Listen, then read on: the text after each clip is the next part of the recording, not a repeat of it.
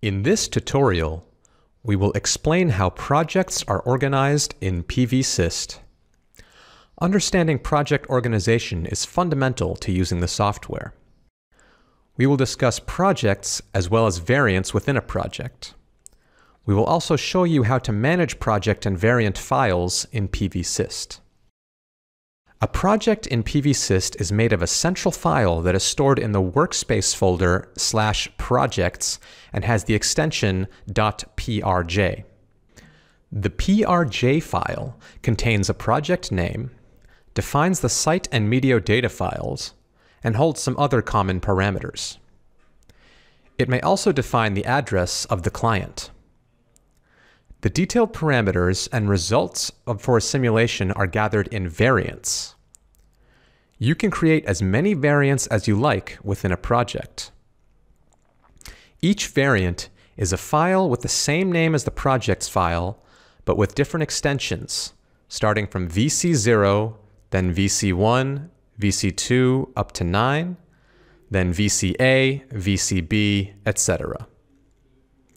Variants allow the user to execute different simulations within the same project.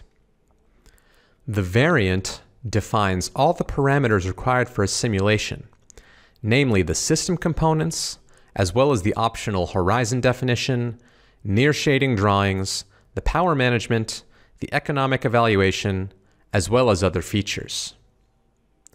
The different variants are used for comparison of design choices as well as saving steps as the project becomes more complex. Each variant will produce its own set of simulation results and its own report. Understanding these differences, let's go into PVSYST and go into detail with project definition. To define a project, you first must choose the project type. For this tutorial, we will use a grid-connected project. By default, the latest project will be open. You can use these buttons to start a new project, load an existing project, or save your project. For our case, let's start a new project. Define a name for the project. In this case, we will use tutorial project. Next, define the project site. For this project, we will use Geneva.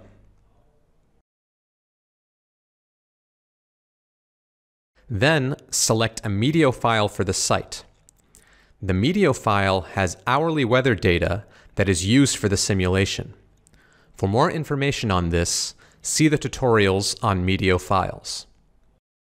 You can modify the project settings by clicking on the button in the toolbar.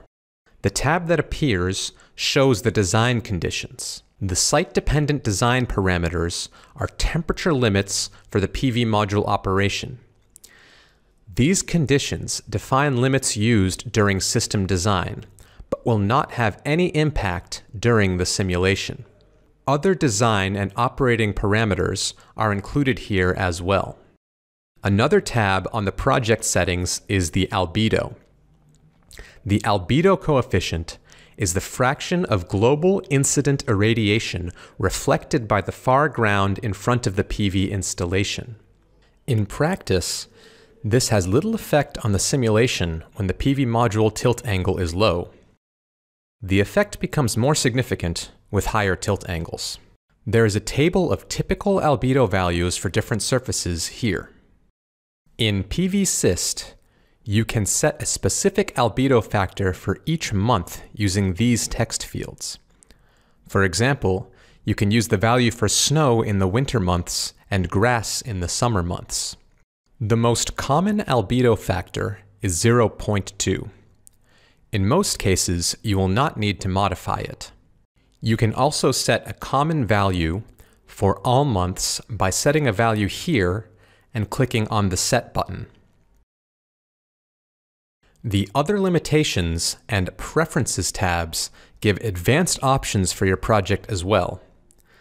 See the help by clicking on the question mark buttons for more detailed information on these options. We now need to save the project with an appropriate name.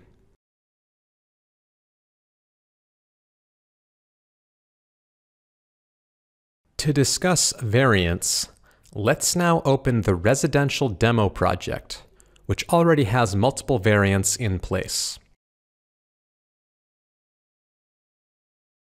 Variants represent different simulations within the same project. Use this dropdown to choose between the different variants in your project. In another tutorial, we will walk through the necessary steps to start a simulation. Here, we will just explore the different parameter definitions of a variant. On each of the parameter buttons, you can see a colored LED. This LED image can have four different states. If the LED is red, this means that there are parameters within the dialog that are not properly set and the simulation is not possible. If the LED is orange, that means that there are warnings in those parameters. This comes from suboptimal parameter definition. A simulation is still possible, but it is recommended that you carefully check the warning.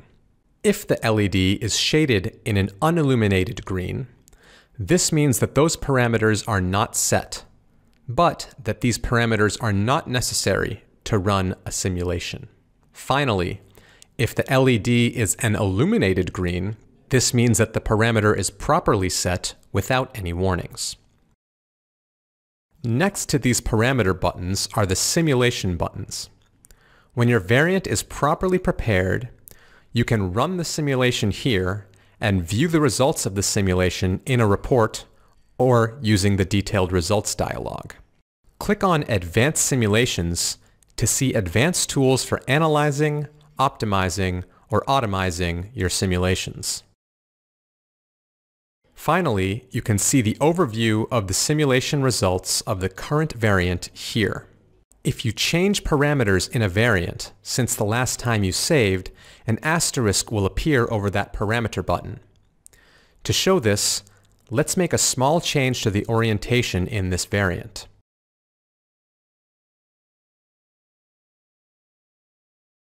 This asterisk means that there have been changes in this parameter since the last variant save, and you must save them or save a new version of the variant altogether. Click on Save. When you save a variant, you have the option to overwrite the current variant using Save or create a new variant by clicking Save as New. When you save as new, you should choose a new name for the variant. Other than saving, the toolbar also allows you to create new variants, import variants, and reorder the variants.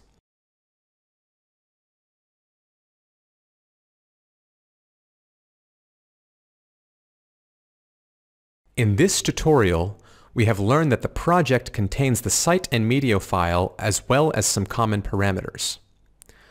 Within this project, we can define several variants for defining our PV system and simulating them individually. Each simulation produces a full report gathering all the parameters and the results. Finally, we showed you how to manage project and variant files within PVSYST.